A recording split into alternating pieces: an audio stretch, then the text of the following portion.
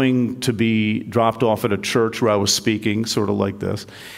And on the way, it was a lot of stop and go traffic, and I just saw people, just swarms of people on the streets of San Francisco, just one block after another. It was lunchtime, they were probably coming out to have lunch, the corporate offices were emptying, and just, just people. And I began thinking, just a thought popped into my head. I wonder how many of these people agree with me theologically. And my quick conclusion was not too darn many. So, what does God think of them? Right? It really hit me that moment, and again, it's hard to recreate an existential crisis, but I was sitting there thinking, I may just be really, really wrong about God.